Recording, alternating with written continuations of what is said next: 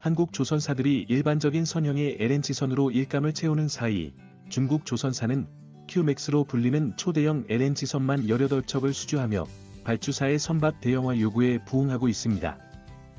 화물 운송량이 많을수록 더 큰 선박으로 운송할 경우 발주사의 운영비 절감에 도움이 됩니다. 일반적인 선형의 반복 건조로 수익성 극대화를 추진하는 한국 조선사들이 초대형 LNG선 수주에 소극적으로 나서면서 중국이 초대형 LNG선 시장에 새롭게 진출하게 됐습니다.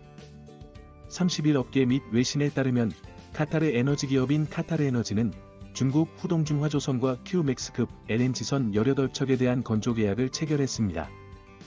27만 1000 큐빅미터급인 이들 선박의 첩당 성가는 약 3억 1000만 달러로 총 계약 금액은 55억 8천만 달러에 달합니다. 후동중화는 오는 2027년부터 2029년까지 이들 선박을 인도한다는 계획입니다. 이번에 발주된 선박은 일반적인 선형인 17만 4천 큐빅미터급보다 9만 7천 큐빅미터의 액화천연 가스를 더 운송할 수 있고 기존 카타르가 운영하는 14척의 큐맥스보다도 약간 더 큰 선형입니다. 후동중화는 지난해 9월 싱가포르에서 열린 가스텍 2023에 참가해 노르웨이 선급, 로이드 선급, 프랑스 선급, 미국 선급으로부터 자체 개발한 Q-Max급 선형의 개념 인증을 받았습니다. 길이 344m, 폭 53.6m에 한화오션과 동일한 membrane number 96 super plus 화물창이 적용되는 이 선형의 경제성과 친환경성을 강조한 후동중화는 오는 2028년부터 매년 12척의 Q-Max 생산이 가능하다고 밝힌 바 있습니다. 이번 계약으로 카타르 에너지의 2차 LNG 프로젝트 관련 선박 발주는 거의 마무리될 것으로 보입니다. 카타르 에너지는 지난해 10월부터 올해 4월 1일까지 HD 한국조선해양, 삼성중공업, 하나오션에 총 44척의 17만 4천 큐빅미터급 LNG선을 발주했습니다. 대규모 발주로 인해 척당 선박 가격은 시장 가격보다 낮은 2억 3천만 달러 수준에 계약됐으나 이들 선박 발주에 투자된 자금은 약 101억 달러로 100억 달러를 웃돌았습니다. 후동중화에 발주된 Q-Max 18척을 더하면 총 발주 금액은 157억 달러에 달합니다.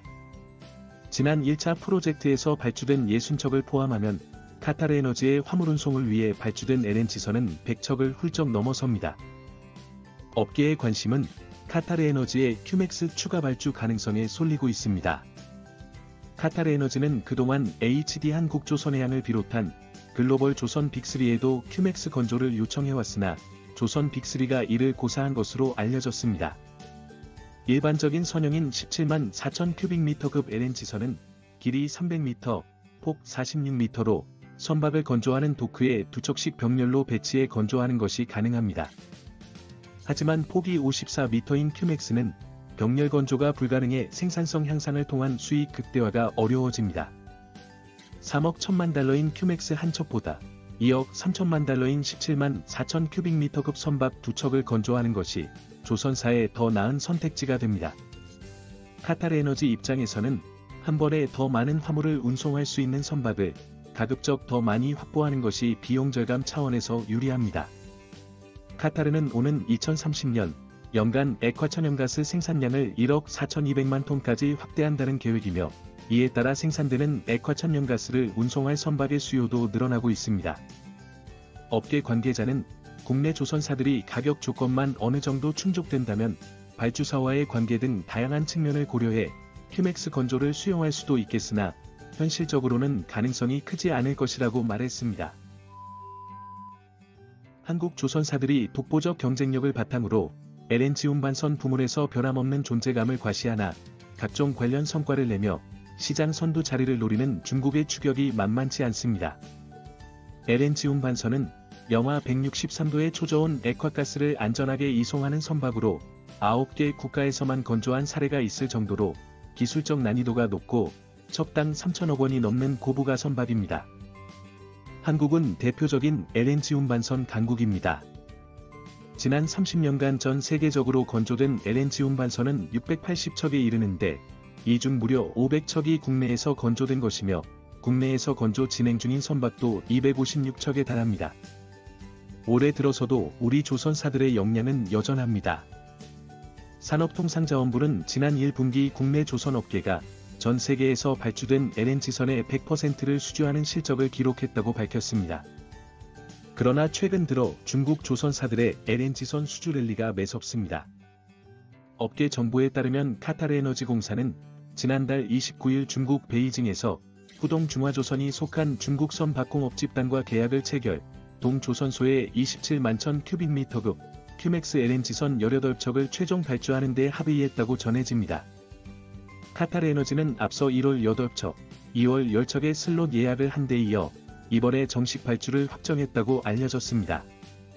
척당 선가는 약 3억 1천만 불 수준이며 선박들의 인도는 2028년부터 2031년까지 이루어질 예정입니다.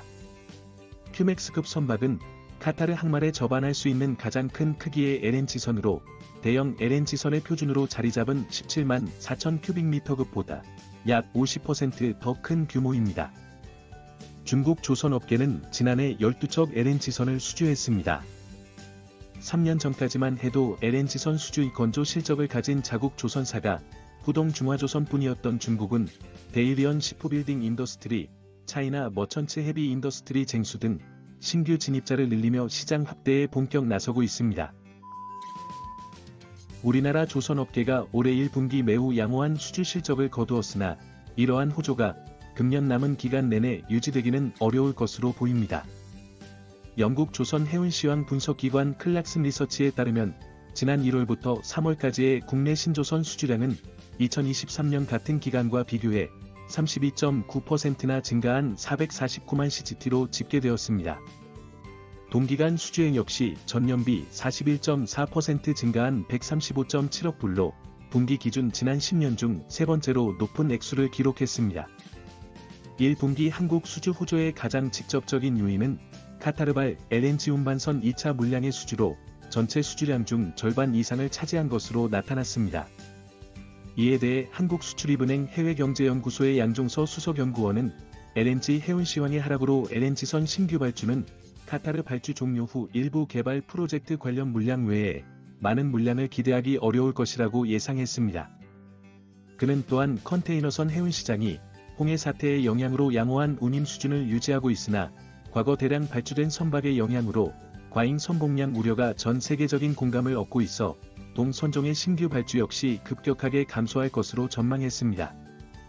양 연구원은 초대형 암모니아온 반선, 탱커 등의 신규 발주가 다소 기대되나 LNG선과 컨테이너선 물량의 공백을 메우기에는 부족할 것으로 예상되어 4월 이후 신조선 시황은 1분기와 같지 못할 것으로 본다며 다만 이후에도 액화 이 산화탄소 운반선 등 신선종 시장이 확대되고 중장기적으로 암모니아 엔진 개발 이후 새로운 신규 투자에 대한 기대감도 살아있어 이미 충분한 일감을 확보한 조선 업계로서는 시황의 단기적 하향 변동이 큰 충격은 아닐 것으로 추정했습니다.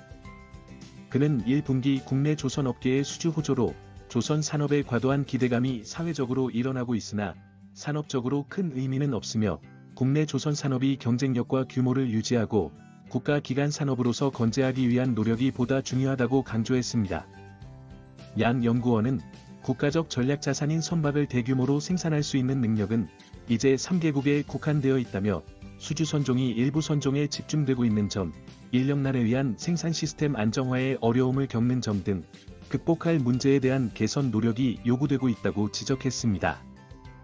이어 조선 산업의 장기적 안정을 위해 조선사는 다시 수익성이 회복되고 있는 시점에서 과거 경험을 교훈 삼아 미래에 직면할 어려움에 대비하기 위한 자산을 축적하고 운영하는 일 역시 중요할 것이라며 공공부문의 산업정책 역시 좋을 때는 기간산업, 어려워지면 사양산업이라는 일관되지 못한 태도를 극복하고 전략적 관점에서의 장기적 지원 정책을 수립하고 전개하는 것이 필요하다고 말했습니다.